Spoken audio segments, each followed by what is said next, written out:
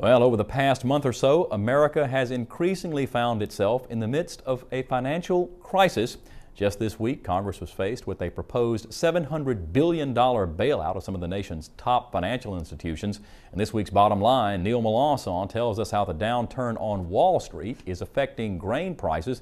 And Neil, how are the markets faring in the face of all this turmoil? Well, Mike, normally when there's a financial crisis like this on Wall Street, it's a boon to the commodities as speculators and investors rush in to buy something solid. Now, we've seen a bit of this in the wake of this latest financial sectors, but things have been very turbulent with a lot of spikes and valleys. Generally, there has been a trend overall as oil prices have gone through the roof here lately. We'll get into that in just a second. And the weak dollar increases the value of U.S. goods abroad. Remember last week when I told you oil had fallen $40 since their highs over the summer? That took more than a month, but on September 22nd, they made up $16 of that in one day alone, the single biggest one day jump in oil in history.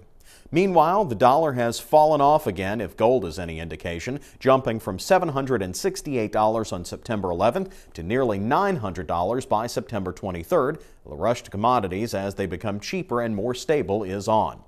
How about some fundamentals to the grain markets for a change? The hurricane damage assessments are in and crop quality is down another 2% from the previous week, while mostly dry weather in the Midwest has spurred on harvesting, making an early freeze less likely to impact the grains. The bottom line this week is that the outside markets are all that investors are paying attention to, which is a bit of a good thing for the grains in the short term, as I said earlier, because that's what's keeping money in. Fundamentals are there, which is keeping prices at their peak. Now, the long term picture is something of a question because as the economy goes into a downturn, if it does, that's going to increase prices for farmers. And over the last two years, even though we have seen higher prices for our grain commodities, it's been eaten away with from the outside market. So keep one eye on those outside markets and one eye on the overall economy as a whole.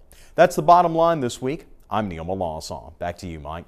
Thanks, Neil. And of course, to stay up to date with the latest farm news in the aftermath of Hurricane Gustav, you can listen to Neil's reports on the Louisiana Farm Bureau Radio Network. For a list of stations in your area, you can visit our website at twilatv.org and we'll link you over.